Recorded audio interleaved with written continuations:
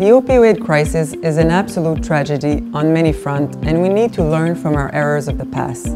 This curriculum is essential for people with lived experience because it addresses a gap in knowledge when it comes to treating pain effectively and safely.